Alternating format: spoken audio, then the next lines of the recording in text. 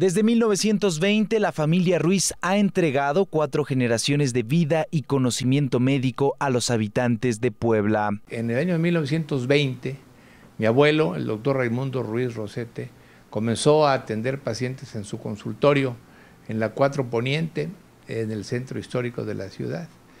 Eh, él tuvo un desempeño notable, fue presidente municipal, fue rector de la universidad eh, y después se fue a Francia en donde eh, hizo algunas especialidades en radiología.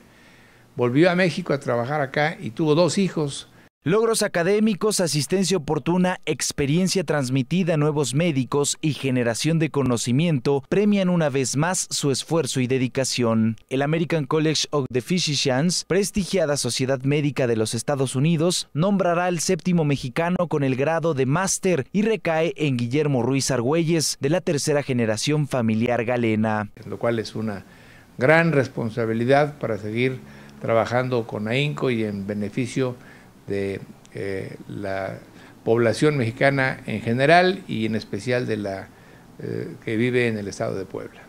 Ruiz Argüelles fue reconocido como el premio Miguel Otero Arce por la presidencia de México, que recibió del expresidente Felipe Calderón. En 2011 se convirtió en el tercer mexicano nombrado alumno distinguido de la Clínica Mayo de Rochester, Minnesota. Sus aportaciones como médico, especialista en hematología y medicina interna, son la clasificación y tratamiento de leucemias, estudio de pacientes con trombosis y un programa de trasplantes de médula ósea.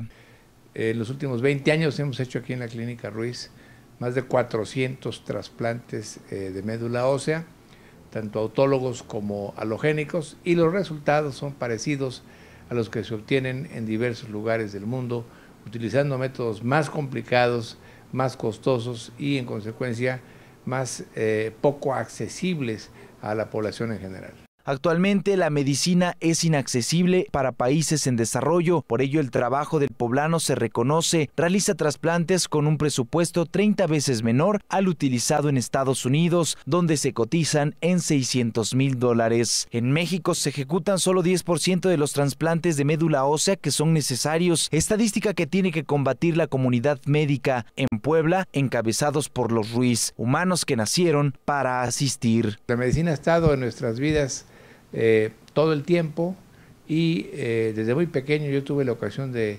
exponerme a cosas de medicina de laboratorio fundamentalmente, eh, de tal suerte que no fue para mí difícil decidir qué profesión seguir. Siempre estuve convencido de que yo tendría que ser médico. Con imágenes de Álvaro Morales, Sistema Informativo Tribuna, Abel Martínez.